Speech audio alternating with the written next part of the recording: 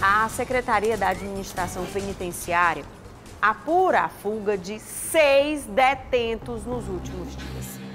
Os cinco que fugiram ontem são de uma mesma organização criminosa. E o que fugiu na sexta-feira cumpria pena por estupro e morte.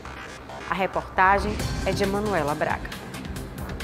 Era por volta do meio-dia e meia quando a fuga dos detentos foi percebida. Eles estavam trabalhando em uma obra no quintal da unidade prisional Vasco Damasceno Eine, aqui no complexo prisional de Itaitinga. Os cinco presos são integrantes de uma mesma organização criminosa de origem carioca. Eles são esses da fotografia. Trata-se do Pedro Lucas Alves Bezerra, do Francisco Douglas Lopes, do Antônio Wilson Freitas da Silva, do Antônio Mateus Souza Sales e do Antônio Luan Rocha Nascimento. Uma outra fuga também foi registrada na última sexta-feira, só que essa foi no presídio do município de Itaitinga. No caso, o suspeito que acabou por conseguir fugir, ele é acusado tanto de estupro quanto de sequestro e morte. Ele que foi identificado como Nelson Reis Feitosa estava na penitenciária Francisco Hélio de Araújo e segue foragido. Ele foi o acusado de matar uma estudante de medicina e também por sequestrar e estuprar uma fisioterapeuta. Os dois crimes ocorreram lá no estado do Piauí. Aqui no Ceará, ele também já havia cometido os crimes, né? Crimes de roubo, crimes de assalto enfim, e por isso estava detido numa penitenciária aqui da região metropolitana. Ele é conhecido como Nilcinho e, como eu falei aqui no Ceará, ele já respondia tanto por roubo como por assalto e também por lesão corporal. Uma outra situação que também está sendo investigada é de um colaborador de uma unidade penal que acabou por ser flagrado tentando entrar com dois aparelhos telefônicos escondidos na roupa para dentro da unidade prisional. Ele, que foi identificado como Carlos Braga de Araújo, trabalhava no presídio professor Olavo Oliveira II. E ele foi flagrado com esses aparelhos telefônicos que certamente já tinham é, os destinatários dentro dessas unidades. O rapaz foi levado para uma delegacia, para a delegacia do município de Horizonte, onde foi autuado e agora também vai ser investigado.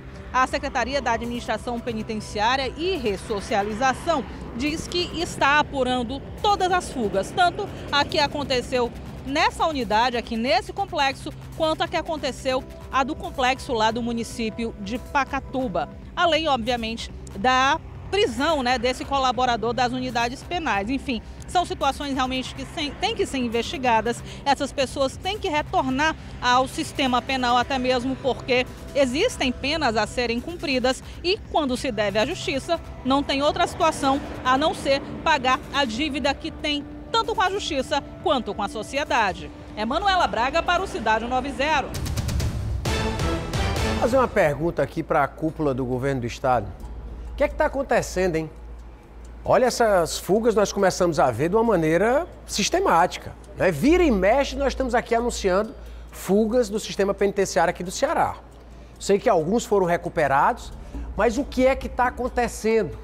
Qual é a facilidade que está tendo para esses caras saírem dessa forma? É preciso tomar uma providência, não é?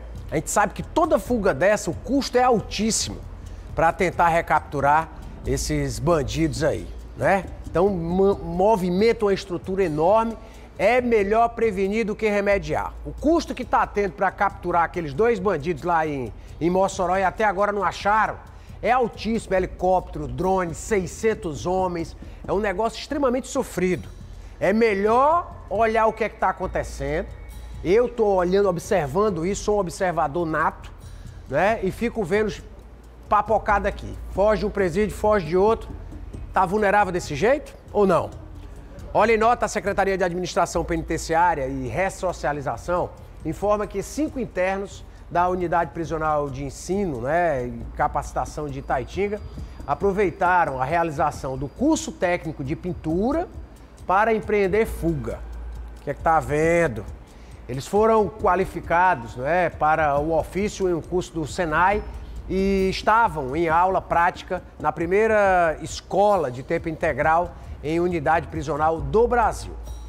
A SAP esclarece que o curso era escoltado né, por policiais penais para fim exclusivo de vigilância dessa atividade e que as torres de vigilância também possuem policiais penais escalados no momento em que ocorreu a fuga. As equipes da SAP estão em campo para uma rápida captura aí de todos. A SAP informa que os detentos responderão pelo ato junto às autoridades competentes e perderão a oportunidade do curso profissional oferecido e que toda essa ação passa por apuração interna para o seu completo esclarecimento e as devidas responsabilizações. É por isso que eu estou perguntando o que é que está acontecendo no sistema prisional do estado do Ceará. Não é a primeira fuga, nós mostramos várias outras aqui, Evaldo, e eu começo a acender uma luz amarela para saber como é que está funcionando esse sistema prisional nosso. Pois é. E aí o sapo não, mas a SAP foi pro brejo com isso aí, viu? Então pronto. Vamos lá, Luciano.